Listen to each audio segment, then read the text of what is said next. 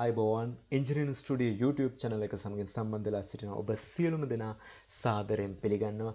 අද දවසේදී අපි මේ විදිහට රිලීස් කරන්නේ ඉංජිනීරින් ස්ටඩියෝ ඉංජිනීරින් ටෙක්නෝලොජි දෙවෙනි වීඩියෝ ඊට පෙර ආතුව විශේෂ සඳහනක් කළ යුතුයි. මේ සම්පූර්ණ channel එක අධීක්ෂණය කරනු ලබන්නේ වරලත් ඉංජිනේරු චින්තක බාලසූරිය ගුරුතුමන් විසින්. ඒ සියලු සම්පත් ලබා දෙන්නේ චින්තක බාලසූරිය ගුරුතුමන් විසින්. ඔයාලට පුළුවන් චින්තකසගේ පන්තිවලට සහභාගී වන්නට සිප්පින් කුරුණෑගල සහ නම්බසිරෝ මහනුවර යන ආයතනවලදී ඇඳරි නීතිය අවසන් වූ වහාම ඒ පන්තිවලට ඔයාලට සහභාගී වෙන්න පුළුවන්. එතෙක් ඔයාලට ඔයාලා ඉගෙනගත්ත කරුණු රිවයිස් කරන්නට පුළුවන් මේ ඉංජිනීරින් ස්ටුඩියෝ YouTube channel එක හරහා.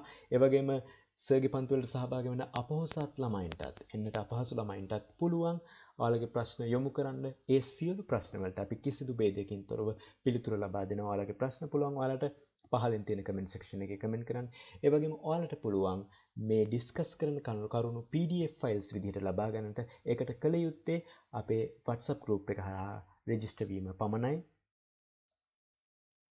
හොඳයි එහෙනම් අද දවසේදී පළවෙනි ප්‍රශ්නය කසල අපවහනය සහ පල්දෝර අපවහනය සම්බන්ධයෙන් ගොඩනැගුණු ප්‍රශ්නයක්. රූපේ දක්වා ඇත්තේ මනු බිලක ආදර්ශනයකි ඔයාලට පේනවා මේ දක්නට ලැබෙන මනුබිලික ආදර්ශනයක්. ABC සහ D කියලා කොටස් තිබෙනවා. අහන පළවෙනි ප්‍රශ්නය පල්දෝරු ප්‍රවාහය වීම සම්බන්ධයෙන් A සහ D වල වෙනස දක්වන්න. ඒ වගේම B කොටස හඳුනා ගන්න. ඒ වගේම C නැමැති පිළ ස්ථාපනය කළ යුත්තේ ආනතියක් සහිතව ඊට හේතු දක්වන්න. එහෙනම් අපි ඔයාලට පිළිතුරු මාකින් ගයිඩ්ලයින්ස් එක්ක දෙන්නම එකට තබා ඔයාලට විස්තර කරන්නම් එතකොට ඔයාලට ඒක පැහැදිලි චිත්‍රයක් ලබා ගැනීමට හැකියාව තිබෙනවා ඔව් මුලින්ම අහපු ප්‍රශ්න තමයි පල්දෝරු ප්‍රවාහය වීම සම්බන්ධයෙන් ඒ සහ D වල වෙනස දක්වන්න. ඒ කියන කොටස යලිත් මම ඔයාලට පෙන්වන්නම්. ඒ කියන කොටස මේ දක්නට ලැබෙන කොටස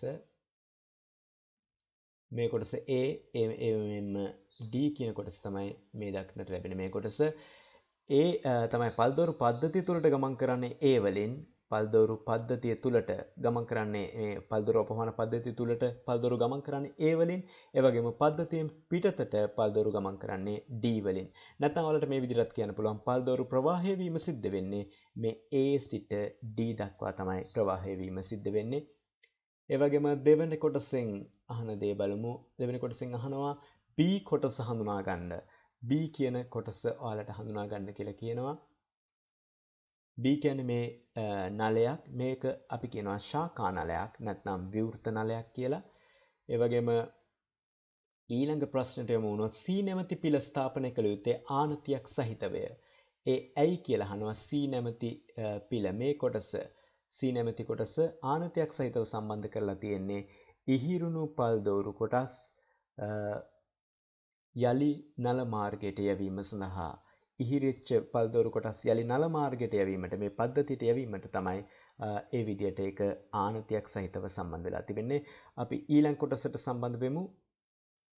ඊළඟ කොටසෙන් අහනවා මනුබිලේ බිත්ති සකස් කිරීම සඳහා භාවිතා කළ හැකි ගඩොල් වර්ගයක් දක්වන්න කියලා මනුවිලේ බිත්ති සකස් කිරීම සඳහා භාවිතා කළ හැකි ගඩොල් වර්ග තමයි මේ දක්වලා තියෙන්නේ.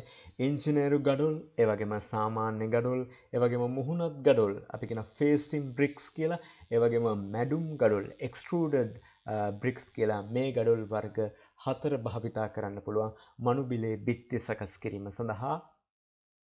ඊළඟ ප්‍රශ්නය අහනවා රූපයේ දක්වා ඇත්තේ T සන්ධියක සැලැස්මක් සහ එක් ගඩොලක් පළල බඩගල් බැම්මක හරස් පෙනුමක් වේ. දී ඇති සැලැස්ම ප්‍රක්ෂේපණය කිරීමෙන් ඡේදීය ඉදිරි පෙනුම ලබා ගන්න වරි පහක් ඔබගේ රූපය තුල දක්වන්න. මේ ඔයාලට දක්නට ලැබෙන්නේ මේ ගඩොල් වල T සංදියේ සැලැස්ම ඒ වගේම මේ දක්වලා තියෙන්නේ හරස් පෙනුම ඒ පහලට ගිහිල්ලා ඔයාලට පොඩ්ඩක් පෙන්වන්න එක තිබෙන ආකාරය මේ ඒ T සංදියේ හරස් පෙනුම තමයි දක්නට ලැබෙන්නේ. දැන් අපෙන් අහන්නේ ඔයාලට මේක මේ ඇසුරෙන් ඔයාලට ගොඩනගන්න ඕනි මේක ඡේදීය ඉදිරි පෙනුම. මේ ආකාරයට ඡේදීය ඉදිරි පෙනුම ලබා ගැනීම හැකියාව තියෙනවා ඔයාලට දක්නට ලැබුණා වූ බඩගල් බැම්ම ආකෘතියට අනුකූලව සකස් කරන ලද ඡේදීය ඉදිරි පෙනුම තමයි මේ විදිහට දක්නට ලැබෙන්නේ.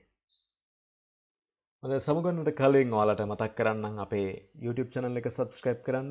ඒ වගේම මේ පණිවිඩ අනෙත් සියලුම ළමයින්ට ලබා දෙන්න මේ අධ්‍යාපනික සත්කාරය චින්තක බාලසූරිය ගුරුතුමන් විසින් කරන ලබන මේ අධ්‍යාපනික සත්කාරය හැම දෙනාටම දැනගැනීමට මේ වීඩියෝ ෂයා කරන්නට අමතක කරන්නට එපා. ස්තුතියි.